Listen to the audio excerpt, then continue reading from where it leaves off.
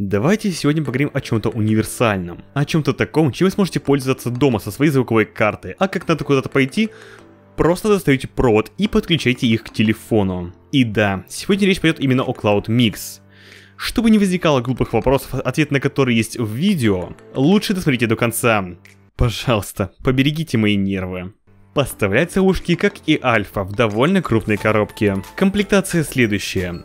Сами наушники, микрофон, мешочек для транспортировки, AUX кабель с 3 мм джеком по обе стороны, а также регулировкой громкости, удлинитель для компьютера и USB микро-USB кабель. Внешне это все те же привычные всем Cloud Core или Cloud Silver. Есть разве что очень легкие отличия в дизайне, например, их оголовье.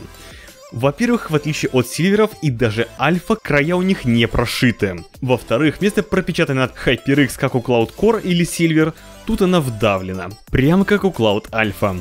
Но также их главное отличие от Альфа и других это размер динамика.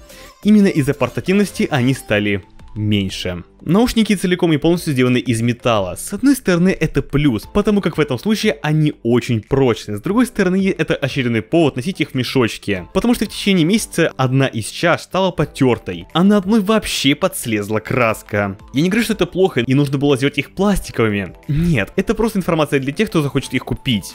Короче, да. Носите мешочек оголовье, впрочем, как и амбушюры, сделаны из кожзама с мягким наполнителем. Что примечательно, складывается впечатление, что амбушюры у Микс куда более упругие, чем у Альфа. Я не знаю, как это объяснить, но у Микс как будто совершенно другой наполнитель, который гораздо приятнее прилегает к ушам.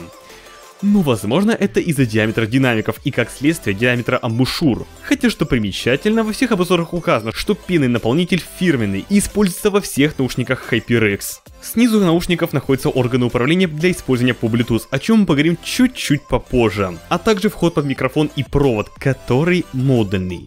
Сказал бы я, не будет это так очевидно, ведь они как бы беспроводные. И вот со звуком очень интересный момент. Если в Cloud Alpha был упор на чистый звук с обволакивающим мягким басом, то у Mix немножечко иначе. Если быть точнее, то здесь упор идет уже именно на басы. Именно из-за того, что наушники как бы портативные и будут использоваться вне дома. На спорте, например, или просто по пути куда-либо. Когда и включается более активная музыка, где достаточно много баса. И знаете, они вообще не прогадали. Хоть такой характер звучания и не для меломанов, и вообще не подходит для обработки звука, но просто идеально подходит для прослушивания музыки вне дома. Как бы HyperX не говорили об универсальности использования наушников, лично я не смог их использовать именно дома. А все именно потому, что мне приходится работать со звуком, где очень важно не добавить или убрать то, чего либо слишком много и без того, либо вообще не хватает. Дабы не лить много воды, скажу более конкретно. Вот так выглядит график очка моего микрофона. И как вы видите, немножечко не хватает басов. И именно их я обычно немного докручиваю, чтобы звук не был совсем сухим. Но с микс такое ощущение, что басов прям, басы прям переваливают. Хотя на самом деле это не так. Потому уж что я точно могу сказать, так это то, что для обработки звука я их не советую. Хотя те, кто работает со звуком и без меня знают, что им надо. А вот что касается повседневного использования, то тут дело обстоит гораздо лучше. Во-первых, как я уже и говорил, звук хорош, хоть и на любителя. Басов не слишком много, но видно, что упор на них сделан не маленький. Про игры даже говорить неинтересно, ведь позиционирование хорошее даже в Синхах 206 за 1000 рублей. Но зная некоторых комментаторов, кто-то да спросит, потому отвечай именно для таких людей. Да, позиционирование в играх хорошее. А вот с микрофоном произошла пренеприятнейшая ситуация. Как некоторые знают, у меня есть собака. А если точнее, у меня их три. И как-то я забыл, что со всех поверхностей стоит убирать мелкие вещи.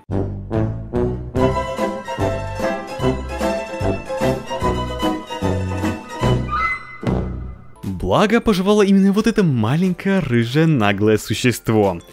А потому пострадал лишь пластик. Я боялся, что все, минус микрофон. Ну, во-первых, микрофон тут такой же, как и в Cloud Alpha, как внешне, так и по характеристикам. А во-вторых, он работает.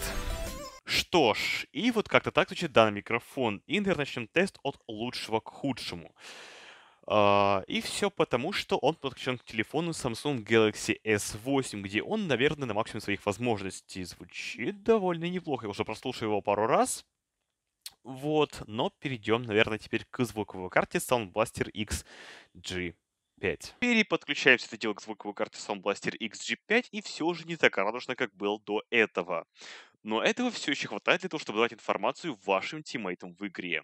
И вот теперь встроена звуковая карта ноутбука ALC688. И теперь обстоят дела, я бы сказал, плохо, иначе и не скажешь, конечно. Но это очередной повод покупать звуковую карту. Ведь это глупо покупать наушники за 15 косарей и не покупать маломальскую звуковуху по типу, даже не знаю, Asus Sonar AE, как минимум. Хотя, но, кстати, именно для вас будет ссылка в описании на ЦАПы, то есть цифроаналоговые преобразователи и звуковые карты для именно э, гарнитурочек, то есть где вход есть под микрофон и под наушники. Вот. ЦАПа всего лишь под наушники, да. Потом переходите по ссылочке в описании, ознакомьтесь со списками и покупайте нужную вам звуковую карту. Вообще, я хотел еще провести тест микрофона, когда наушники подключены по Bluetooth. Но, увы, я компьютер не видел микрофон при подключении наушников по Bluetooth.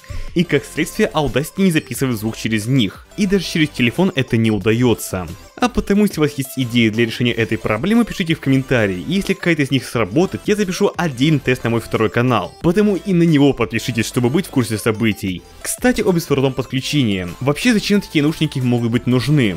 Допустим, вы не блогер, не обзорщик, и денег у вас не так-то и много, чтобы вложить наушниками на все случаи жизни. Например, как у меня. Я использую дома Cloud Alpha. Когда куда-то иду, беру Cloud Mix. И если погодные условия не позволяют взять полноразмерки, например, слишком жарко или слишком холодно, в запасе лежат Gear Icon X 2018 года.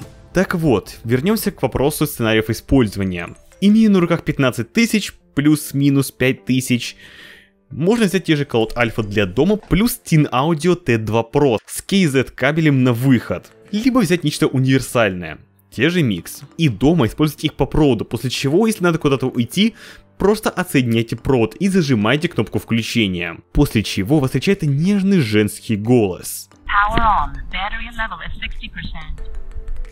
Который уведомляет о двух вещах. Во-первых, наушники включены, а во-вторых, уровень заряда самих наушников, чтобы вы были в курсе событий. Но чтобы включить наушники, нужно зажать и поддержать, чтобы наушники начали искать устройство для подключения. После подключения же у вас есть следующие функции. Кнопками на наушниках вы регулируете громкость самих наушников, то есть независимо от громкости, которую вы выставили на телефоне. Есть еще запас громкости усилителя, встроенного в сами наушники. Круглой кнопкой слева останавливайте либо воспроизводите музыку простым нажатием, а также двойным или тройным нажатием переключайте трек вперед или, или назад соответственно. Зажав же вызывается голосовой ассистент. По звуку Bluetooth никаких изменений, ну по крайней мере я их не заметил. Но что насчет задержки? А нет ее. Вот вообще нету. Еще никогда не возникало вопроса, какая же задержка в наушниках. Я ее никогда не ощущал, ее никогда не было. И она всегда идентична тому, что если звук идет из динамика телефона или просто по проводу.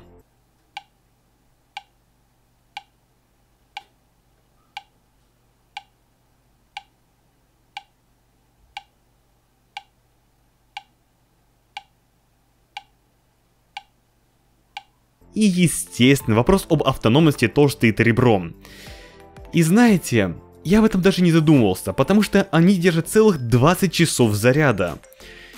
Я даже не знаю, как это протестировать. Ну, допустим, они будут держать не 20 часов, а 19. Но даже для этого нужно поставить наушники на круглосуточное проигрывание, что, увы и ах, сделать у меня не удается, ибо каждый день я в движении. Не пишу текст, так озвучиваю, не озвучиваю, так монтирую, не монтирую, так у меня есть учеба и личная жизнь. Короче, извиняюсь, что протестировать мне не удается. Но могу сказать с уверенностью.